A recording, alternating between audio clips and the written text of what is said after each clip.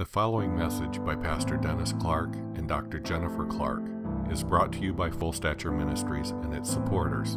For more information about Full Stature Ministries, please visit forgive123.com. That's forgive123.com.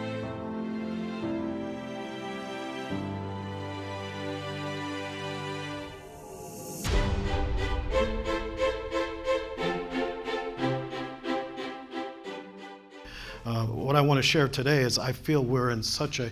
Jason's been getting the same download that I've been getting, that other people have been getting. We're hearing the same thing. He is becoming our all in all, and he's going to come to his church. And when he comes into the church, you get out of the way. He wants to be the Lord. And, and I'll tell you what, he is the Word, and no matter how much Word you've got in your mind, no matter how much Word, it's basically going to be what Word is not in your heart is basically in any any areas that's contrary to the Word of God is going to begin to stand out like a sore thumb, because He's coming in as Lord. He's coming in as your all in all, and I really really pray that even in the next week you practice uh, some of the how-to's that we're going to give for that something that the, the lord kind of has uh, unfolded to us in a, in a practical way. Can we put that, uh, that uh, outline up? I want you to look at this outline. This was something that from the time I was a baby Christian, this is the way I approached the Word to make it flesh. I was never satisfied with knowing the Word. I was only content when I felt like I owned that Word. Can we make that bigger? Can you all see that? All right. It's basically how the inworking of the word is what I call owning it, absorbing it. I used to call it cherishing it, and that didn't translate when Jennifer was having me go granular and teach her how. I said, when I'm reading through the scriptures, if something has life on it, that is God speaking. I don't continue to read. If it's got life on it, that's a message for me right?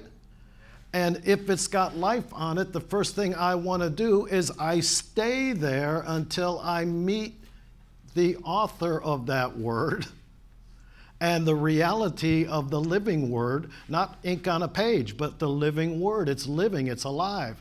And I would absorb it and I would see that that word was usually, always, as a matter of fact, contrary to my flesh. And so there was a birthing taking on. You cannot cease to have flesh, but you can bring that flesh in submission through the work of the cross under the authority of that word. So it would absorb. And I would see that what God was doing while I'm while I'm hungering after that word that had life on it. How many know what I'm talking about? When you're reading your Bible and something stands out. It's that simple. When it stands out, you ought to stop dead in your tracks and take that as if that were the only word for that moment. You don't need other words. At that moment, that is God Himself revealing Himself to you. Honor it, cherish it.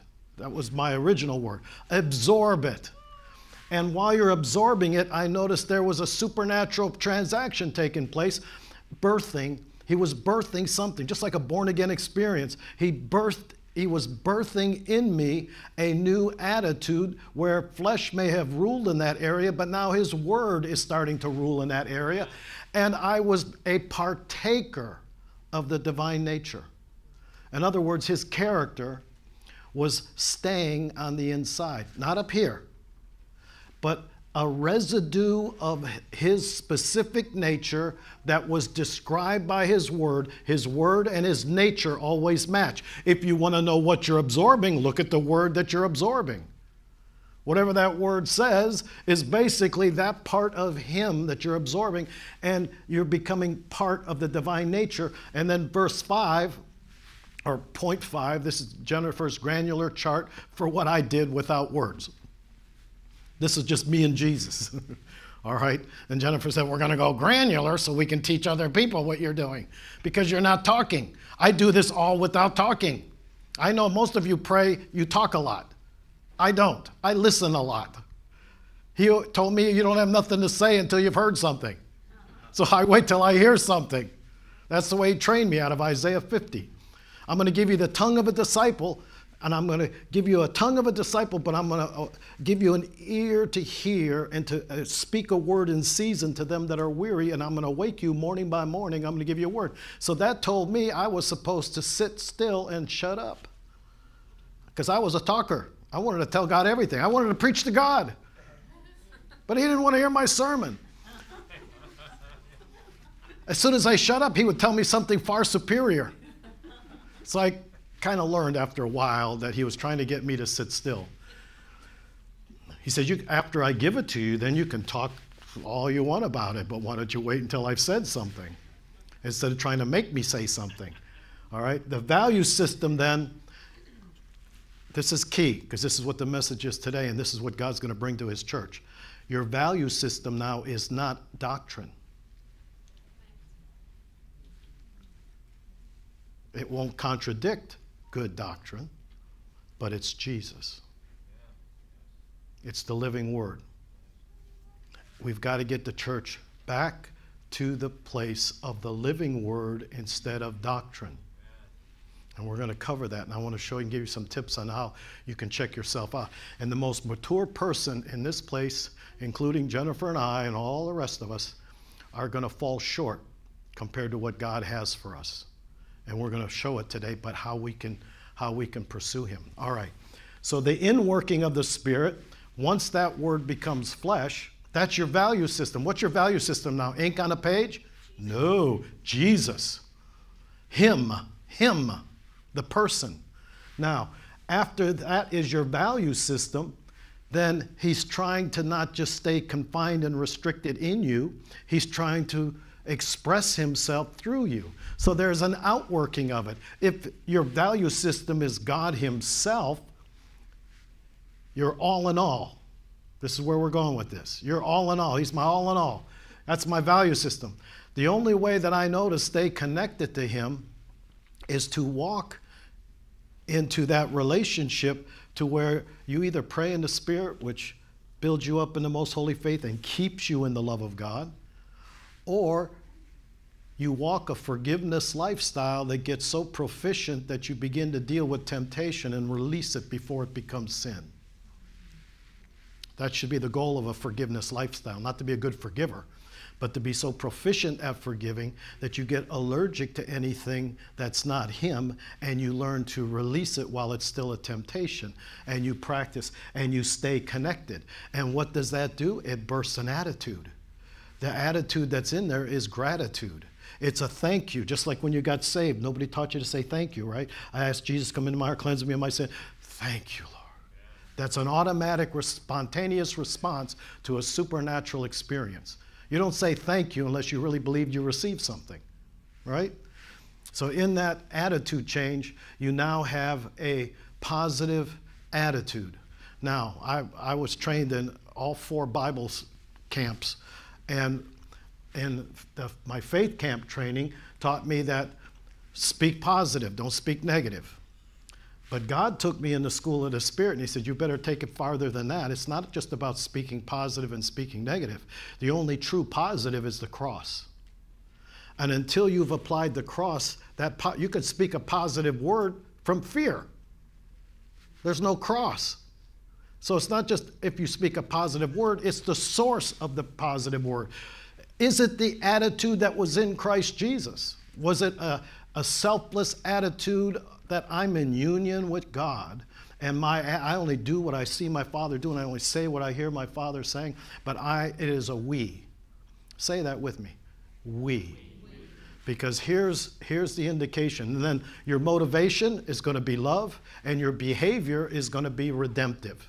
You're going to have a redemptive mindset. Your entire Christian life is looking how can I be redemptive? How can the two of us, Jesus and me, me and him, him and me, me and him, him and me, me and him, us, that's got to change because here was the indication the school in when God took us to school, He sent us uh, traveling into various ministries. You can leave this up for a little while. Some people want to take notes on that. Uh, and can the camera go on it so that anybody watching by Ustream, they, they, I got emails on that. They struggled with trying to see that. Give them plenty of time to look at that. Um, But here's the, here's the thing that God is basically saying uh, that there is a liberation that's coming to us if to whosoever will. And I'm a whosoever will, and most of you here are whosoever will. And this liberation is a secret, and that is Christ is going to become all in all. And we look at everything from uh, one of the missing links we said is discernment. The thing that's different about discernment compared to what we're accustomed to doing is we're accustomed to looking at results and calling it fruit. Have you ever seen an unsaved businessman become successful? Okay, that's not fruit if he's not saved. So you can be successful and unsaved from the world's point of view. So you can see results. I want to know what true discernment does is what is the source? Is it God or is it flesh? Is it God or is it flesh? So discernment always goes to the source, the source, the source, not the fruit, the fruit, the fruit. Because many will be deceived if they just judge by the fruit. I've seen things that you would call fruit come from witches. Right? So you've got to know the source. I've seen people do stuff that looked fruitful, but all real Bible fruit fruit of the Spirit, all fruit comes only from intimacy. Apart from intimacy, there is no legitimate fruit. So we're going to deal with dead works today, and I think you're going to be a little bit shocked. So don't be too shocked. Just simply say, God, I want to abandon myself to the all in all. I need you. I need you desperately to be Lord of my life. Now, I want to start here. In Ephesians 1:10, it says that in the dispensation of the fullness of time, he is going to gather together in one all things in Christ, both which are in heaven and which are on earth in him. Christ is all and in all. Colossians 3:11. Colossians 3:11, I'm going to drink that in until that is so written on the tablet of my heart that from this day forward, I'm prophesying to myself here, from this day forward I am only going to think in terms of we. What do I mean by that? We. Christ in me, the hope of glory. All right? And I want to, I want to kind of just lay a little bit of a foundation scripturally, and that is in John chapter 14, verses 3 to 7. And if I go and prepare a place for you with my Father, I will come again and receive you to myself, that where I am, you may be also. And where I go, you know. And the way you know. I can just imagine him, those disciples, they remind me so much of me. They go, Really? where I go, you know. The way you know. Thomas said, naturally it was Thomas. Thomas said to Jesus, Lord, we do not know where you are going. How can we know the way? And Jesus said to him, I am the way, the truth, and the life. I am. I am the way. Now, listen close. This is just the foundation, and then I'm going to give you the how to's to make your week wonderful and challenging at the same time. The way. We do not learn a method. Everything we've taught came out of my intimacy with God, and Jennifer forced me to make it granular. It is not a method. It is a person. It's insulting to call it a method when it's a relationship. It's Jesus. Can we make well, one, two, three, four? Sure, we did it. Jennifer made me do it because she wanted me to teach her what I was doing when I wasn't talking with my eyes closed. And I loved her just enough to put it in words. And we love you just enough to put it in words too. All right? So, we don't learn a method. Jesus himself is the way. How many have ever heard that story? I heard it when I was a young Christian. The story about the guy who wants to go through the jungle and he's asking for a map. And the guide says, No, there's no map. I am the way. He goes, No, I, I want to know how to get through the jungle. He goes, I am the way. I mean, I'm the only one. There is no map. It's me. Well, that's what God's trying to say. I am the way. There's no way. So much for all the ways of God, ways to God, right? He said, I am the way. It's interesting how easily deceived people are. They think there's so many ways to God. Jesus said, I am the way. He should have said, I am the only way, but I think he implied that quite clearly. All right? There's a difference between an encounter and a method. Do you agree? Do you want an encounter or do you want a method? I want an encounter. Here's the problem that we saw. When we traveled, we would do a simple, it was actually God schooling Jennifer and I on how to equip the church better with the how to's. The first how to we saw was we would stand in front of even large congregations and say, Christ in you, the hope of glory. Quick, point to Jesus. 99% did this. Well, I'm going to get back to this. Do you realize how bad that really is? Not just because they didn't listen to the scripture, but that's bad, and yet almost everybody did it. So we're going to have to correct that. That's a serious, serious error. And then we would teach them okay, real quick, point to your will. 99% in well taught churches pointed here. That's going to have to be corrected. This is the door of the heart. This is where Jesus came in. He didn't come in your head, He didn't stand at the door and knock. Some of me might have had to do a little bit on your head, but that's ultimately He came into your spirit. This is the epicenter. Your spirit fills your head to toe, but the door of the heart is the will, and the door of the heart is what you open to. It's what you, you either permit or forbid. There's binding and loosing for you, permitting and forbidding from the heart. Now, it says, Jesus in us is like a spiritual stairway to the Father, that where I am, you will be also. So there is a clear connection here. He raised us up together to sit in heavenly places. I am the way. So there's no man comes to the Father but through him, correct? He's the way. The truth. Truth is the reality, the spirit of truth. The things of this world are deception or the spirit of the world. Spirit of error. It's either the spirit of truth or the spirit of error. So it's, it's making it simple. When I was a baby Christian, the way the Lord showed me of Christ within and not Christ in heaven, yes, He's there, but I was just a baby Christian, and God showed me that from now on, Dennis, the rest of your Christian walk and why we so emphasize Christ within as far as except. Uh, it's like he, how many ever saw 20,000 Leagues Under the Sea, the real old fashioned version of Jules Verne?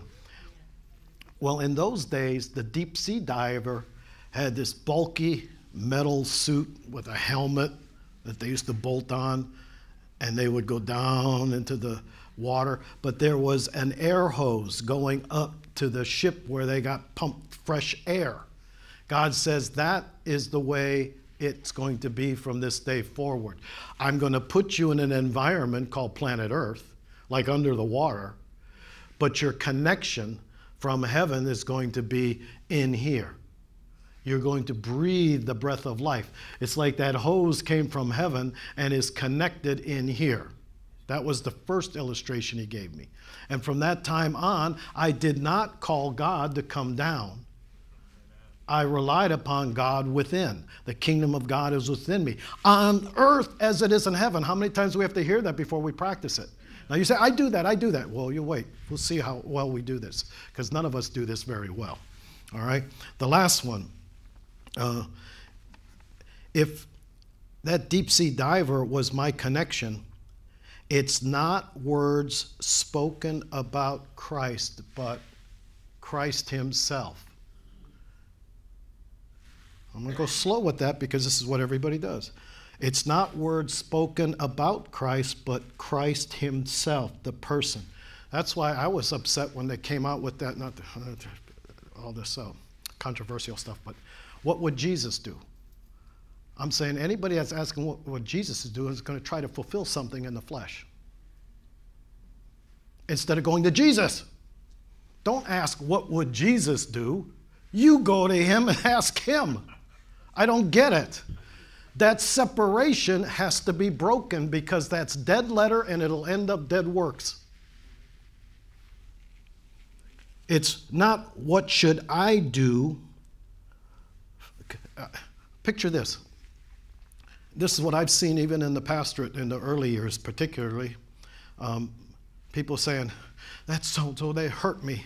They hurt me bad, and, and I know the Bible says I'm supposed to forgive them, right? And so they write a letter that I'm sorry, but they're angry while they're writing the letter, I'm sorry. That's dead letter. It doesn't work. If you're angry writing somebody that you forgive them, but you think that the writing of the letter is somehow healing you, dead works. That'd be like, it's, there's such a lack of relationship, but yet biblically literate. A lack of relationship, Say that back to me. A lack of relationship, yet biblically literate. It'd be like asking, uh, should I cry at a funeral or not? Well, let's go, let's go get counseling. Let's go, what does the word say? Oh, the word, the word says, I don't know. It doesn't really say whether I should cry at a funeral or not. That's not a relationship, is it? That's doctrine. Doctrine isn't going to save you, people. It's going to be Jesus. And it should be spontaneous. We're too much in our heads and wondering why God is not manifesting as powerfully as He could through the church. But this is still the problem. There's a separation. There's a, an unplanned deception of distance.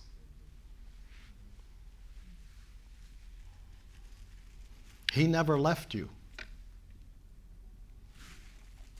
Now, I am the way, I am the truth. To do something out of mere doctrine or because it was a good idea.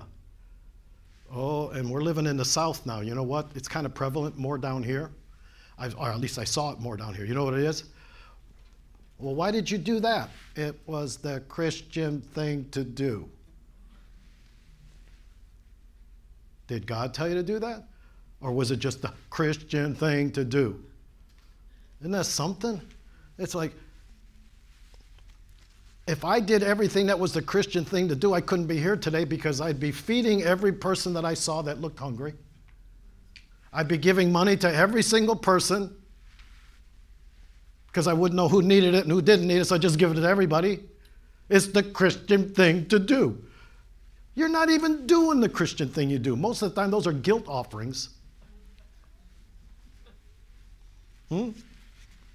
There are people that will give to Habitat for Humanity not because they care for those people, but to ease their conscience because they might have some money. The Christian thing to do. I'll tell you what, we're going to have to get an awful lot closer to Jesus to only do what I see my Father doing, to only say what I hear my Father saying. That's going to come spontaneously out of a relationship, not out of your intellect of thinking, what is the Christian thing to do? What would Jesus do? Right?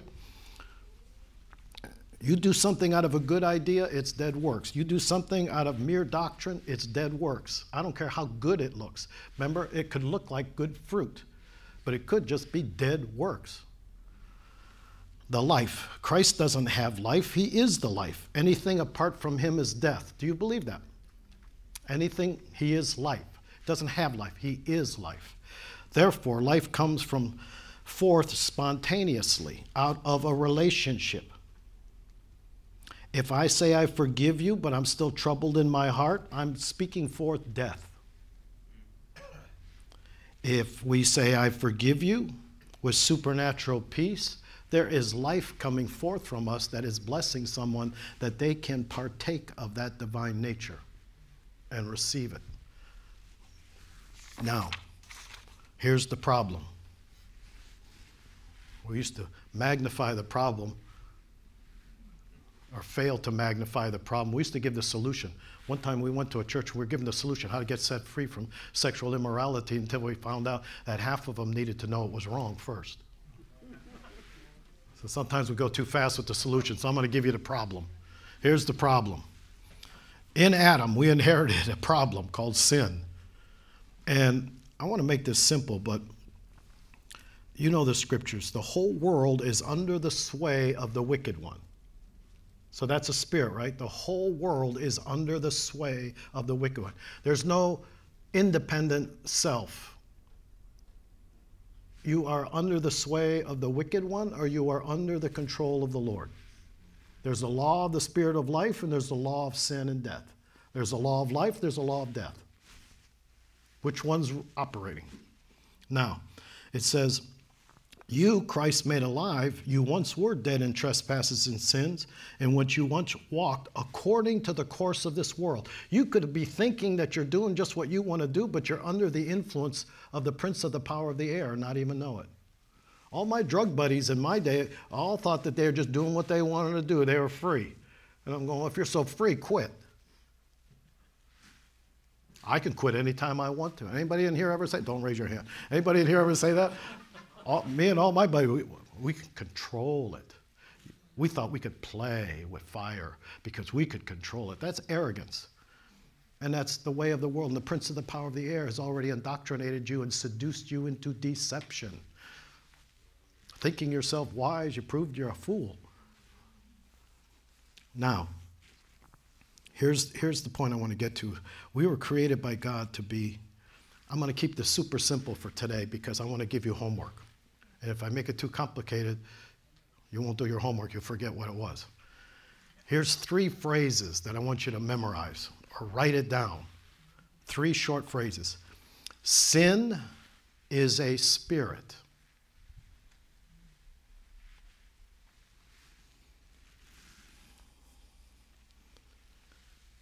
And this one's going to get us all. Sin is separation.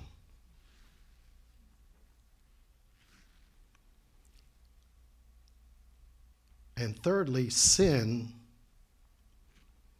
is an independent self.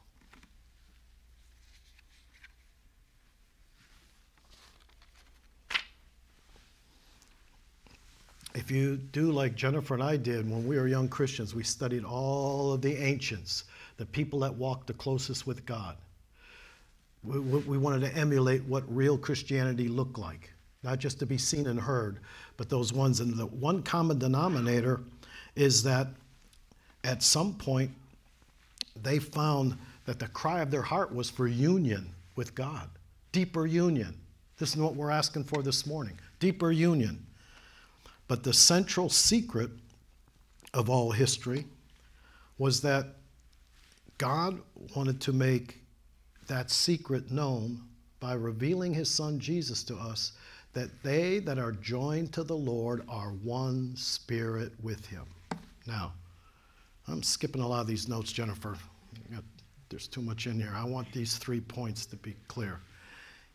Sin is separation. Say that back to me. Sin is separation. As far as I'm concerned, when you say, Christ in you, the hope of glory, to spirit filled believers, and you say, Where's Jesus? and they go like that, that's separation. Uh oh.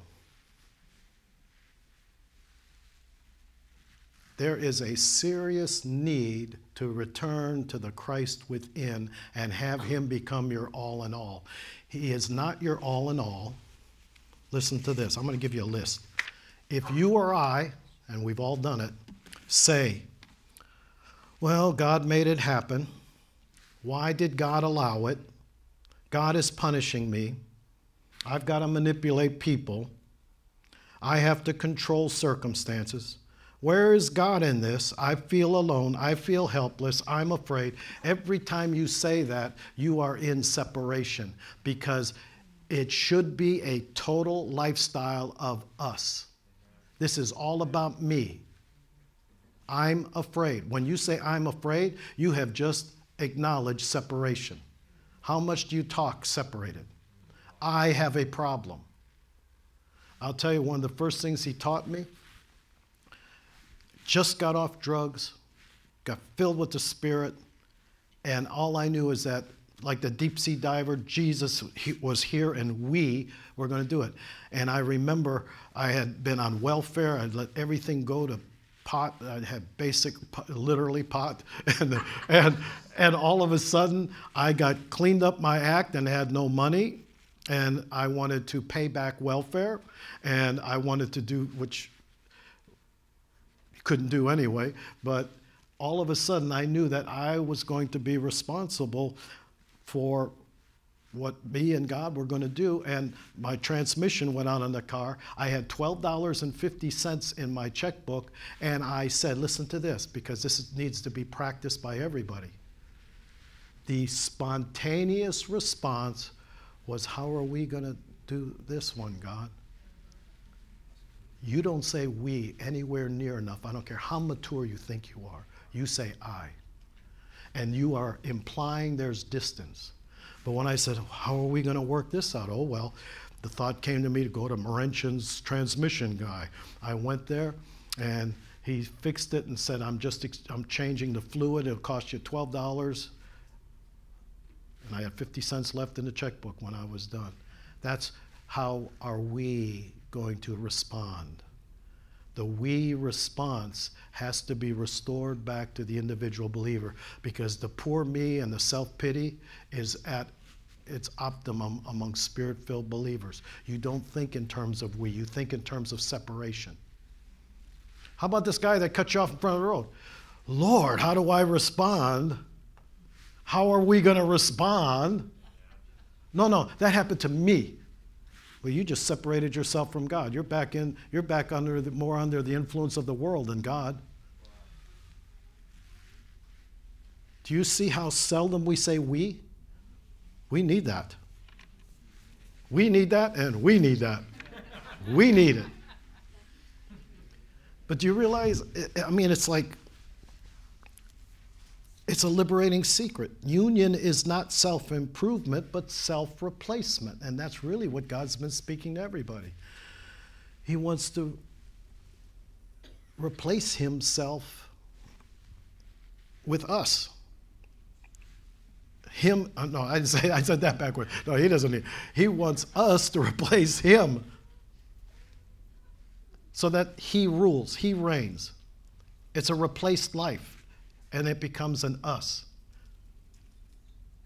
Was G- did Jesus give us that example? Did he? I only do what I see my father. It's my Father that does the works, not I. Paul, it is no longer I who live, but Christ who lives within me. This life I live. You know all of the scriptures, but I'm not talking about you knowing the scriptures. I'm talking about in everyday experience of walking with God. It's not a we. It needs to be a we. It needs to be an us. It needs to be, how do you want me to respond? I spent in the early years knowing that the one thing God was working on me was to quit asking why and start asking how, how do we respond? How do we respond to this guy? There's nothing that happens that's not coming to him, too.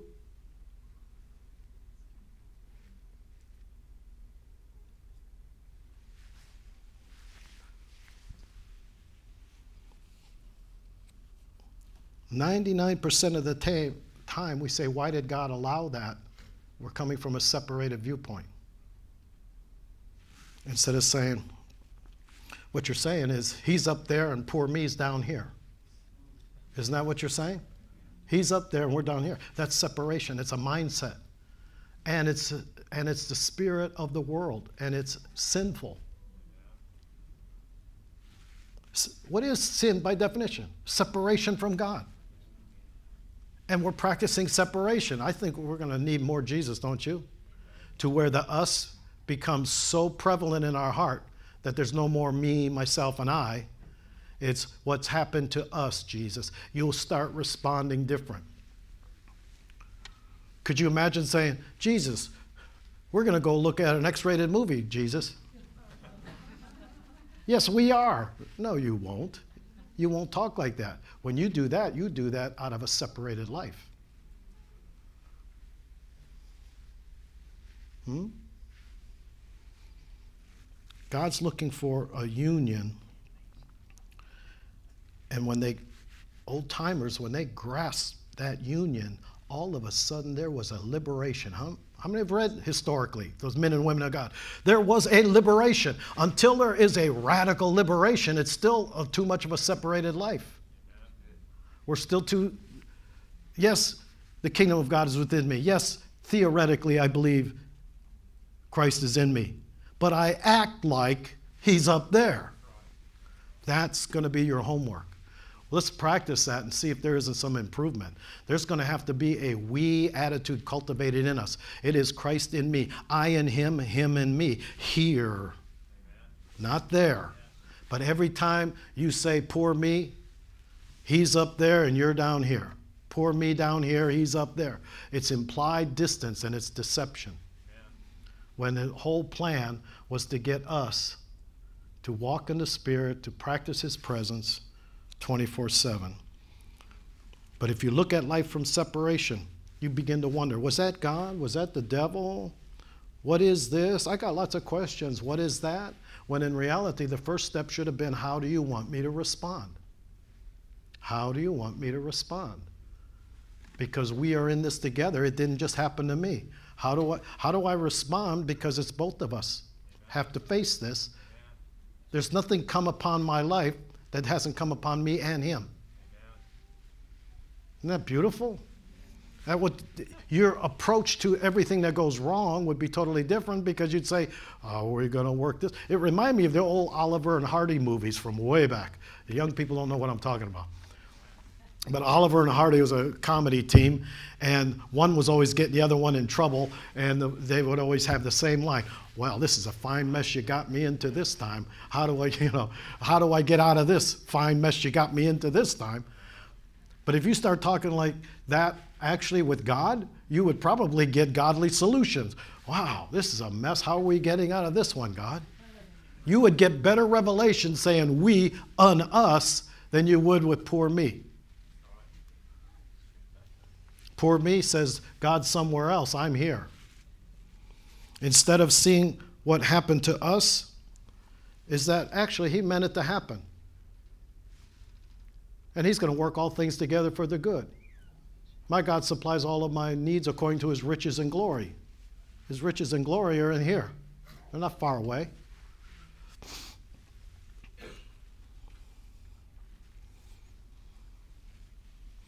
Jesus said, We speak what we know. And Jesus said, We testify what we have seen. Who's the we there? Him and the Father.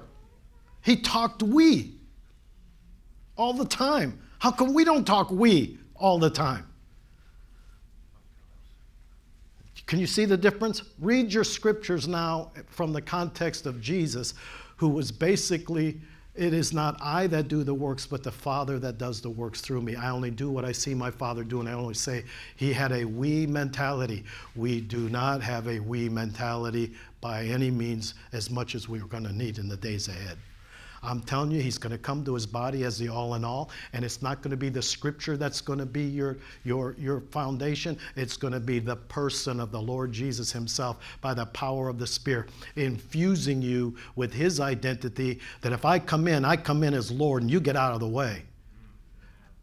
And we will accomplish these things. It is God who is at work to will and to do. It is no longer I who live, but Christ who lives through me. In Him I live and move and have my being. That's a we. That is not, has nothing to do with me asking for God to come down. We got to quit asking God to come down. Now, I understand there are outpourings where that could be valid but by the most part, most of you are still to I and not we. so don't be calling something down when He's already in you. Let the heavens open up and pour out a blessing. That's wonderful. But also know that out of the bottom of the earth in Genesis, the, the earth broke open and artesian wells flowed out. We need both. But we are desperately in need of the we. We need a revelation of all in all as a we. God and I now have a shared life. A crisis comes. No, it doesn't come to me When a crisis or disaster comes, it comes to us. Not me, us. It's the most beautiful aspect of Christianity is that the greater has made a covenant, a love covenant with the lesser. I am the lesser and he is the greater, and he that is joined to that Lord is one spirit with him. What a beautiful deal that is for us. And now, whatever comes our way, we can handle it because it's a we. Amen. We can handle it. It comes to him, it comes to us. He didn't just permit it. Once you say, well, God allowed that, you already separated yourself. No, no, no, no. He didn't say God allowed that. You're talking as an individual, separated from God. No, it's coming to us. God permitted it to come to us. He has his own purposes. I don't understand all of his purposes, but I'm going to find out how we respond. Amen.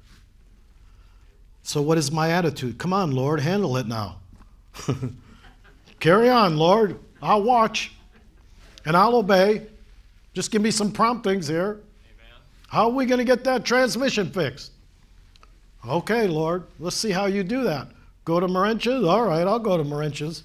That's an expensive place, transmission places. I only got $12. I want to see how you're going to. Well, let's see how the Lord works this out. Let's see how we do this to God. I got $12.50, and he worked it out. But it was a we mentality that brought the power of God into the situation. Once you separate yourself, sin is separation from God. Sin is a spirit, and sin is a independent self. Say that with me. Sin is an independent self. Why is it an independent self? Why can't I just be neutral? Because you're under the prince of the power of the air. And when you think you're neutral, you're being influenced by sin as a spirit. And you know what? You could be influenced like that and go do some good deeds. Can unsaved people do good deeds? What would Jesus do? You better have a more spontaneous, real, interior relationship with Him. That needs to be the living word. All that Bible that you know in your head isn't going to do you a bit of good unless you're walking with Him. And I'll tell you what, there's an awakening that's coming, and as it's already commenced, I believe, and He's going to reveal Himself in His church, you know, in us, His church. And as He reveals Himself, all of that junk that you've tolerated and you think is okay, if it's contrary to Scripture, it's going to be contrary to Him personally. You're going to be dealing with a lot of mess in your life. There's a whole lot of things that you thought, oh, well, it was the Christian thing to do. And God said, I'm not in that. I'll never forget that. God told me from the time I was a baby Christian, Dennis, you're going to plant churches. That's, that's your calling. That's all I knew. I was going to start new works from scratch. And he says, You're going to plant churches. I had 13 people in an office building when I was about a year and a half old in the Lord. And they said, Dennis, you should start a church. Well, that's what Jesus would do because he already told me I was. So that has to be confirmation. This is exactly what you don't want to do. So I started it. We went and got a little building in a hotel, and 13 of us stood in a circle and held hands. 13, just, just like the disciples in one, you know.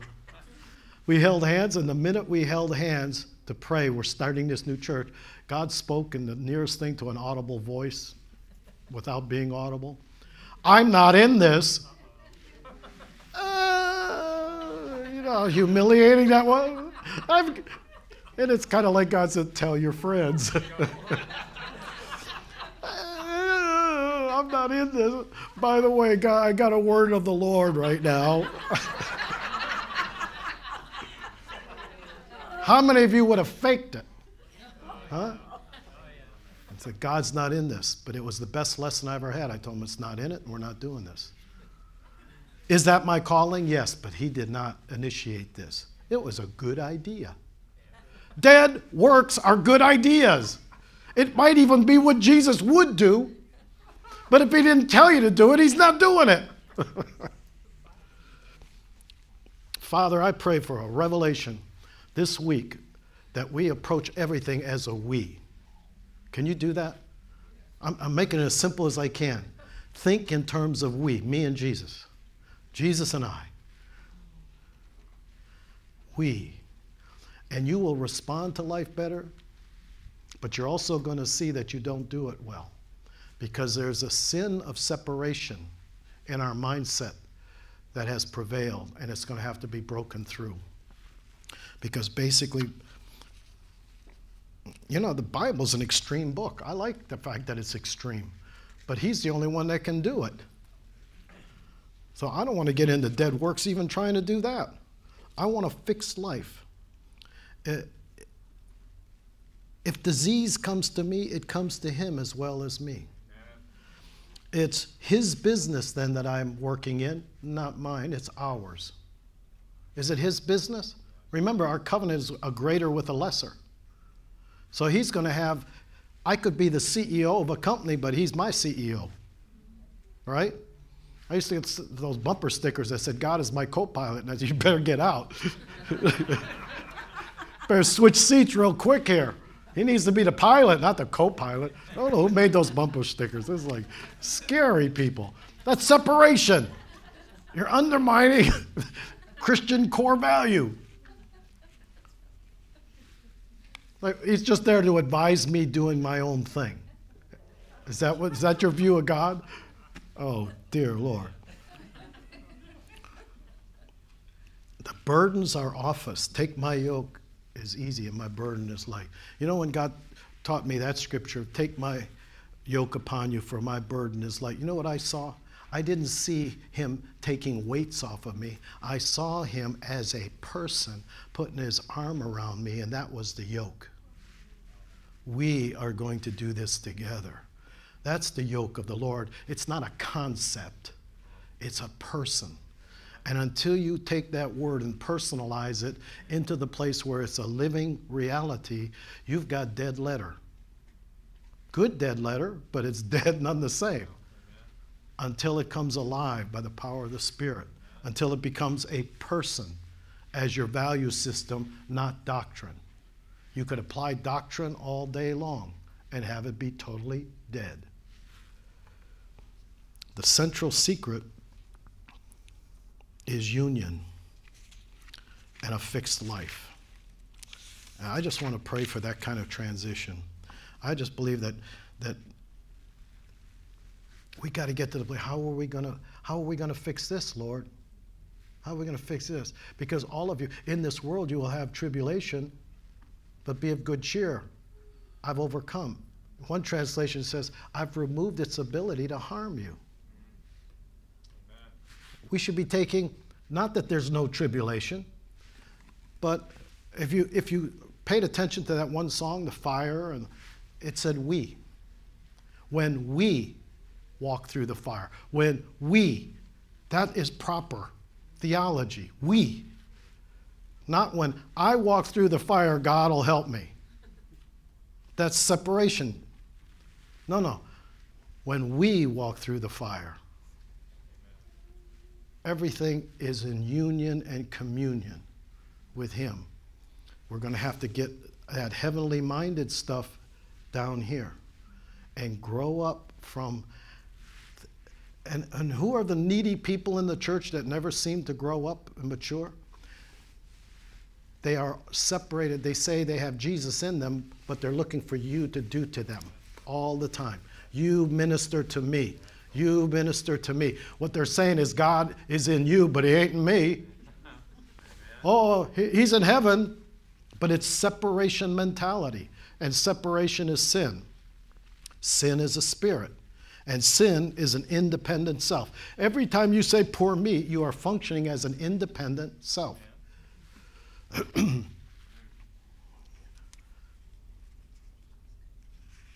we can handle it because he comes to us.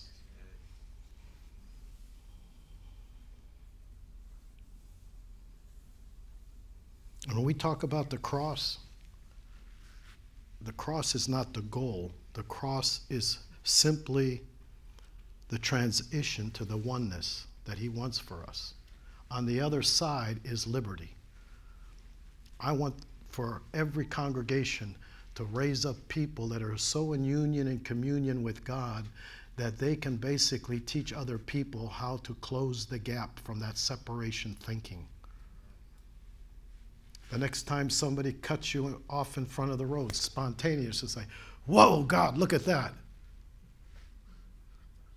Huh?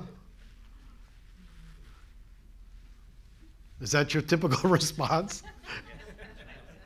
Oh, I'm going to run that guy off the road right back. I'm going, to, I'm to pull up alongside of him and give him a look. Huh? That's pretty separated from God. And that isn't even, that doesn't even go under the, what would Jesus do? I mean, you're, you're blowing it big time, all by yourself. An independent self, it's sin. An independent self.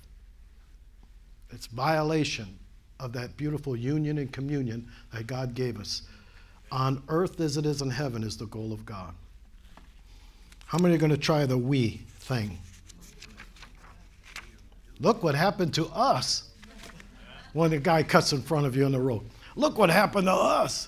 This is when you're by yourself, it's just you and Jesus, right?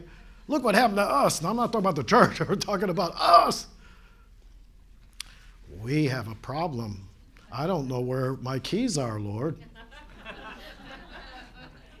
See, no more asking Jennifer as if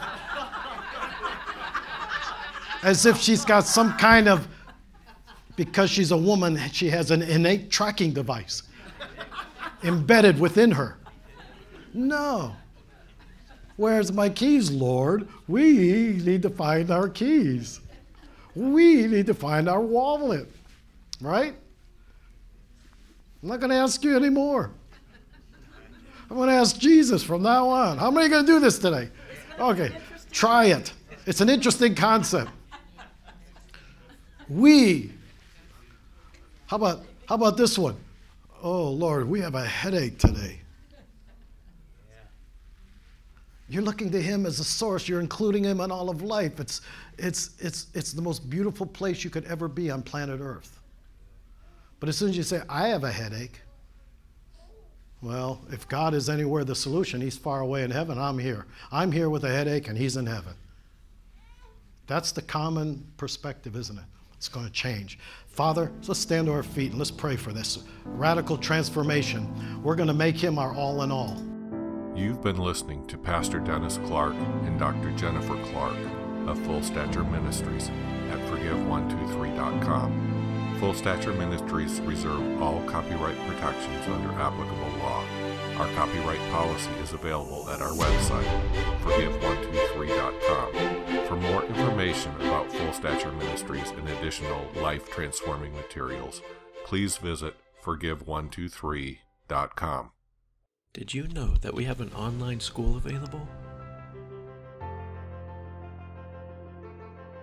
Hi, I'm Pastor Jason Clark.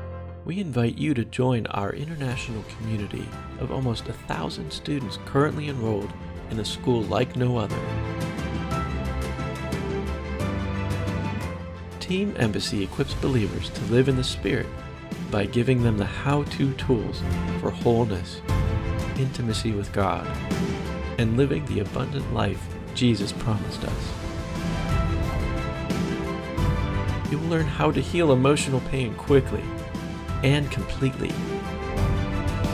You'll discover amazing keys to tap into the fruit of the Spirit and practice the presence of God as a lifestyle.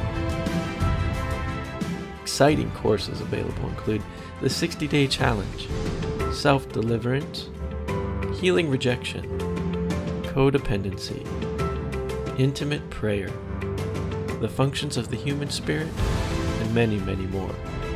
It's formatted so that you could take it with you on all your mobile devices. Sign up today at training.teamembassy.com. Be transformed. Become all God created you to be. You will never be the same.